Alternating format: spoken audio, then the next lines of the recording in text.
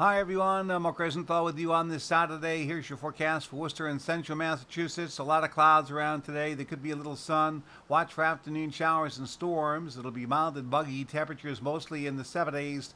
Tomorrow becoming partly cloudy, hot and buggy. It'll be in the 80s. Watch for afternoon showers and storms. Same deal on Monday. Then we dry out on Tuesday. There could be another batch of showers and storms coming in on Wednesday. Drier weather will follow after that. That's my forecast. I'm Mark Rosenthal. Have a great day.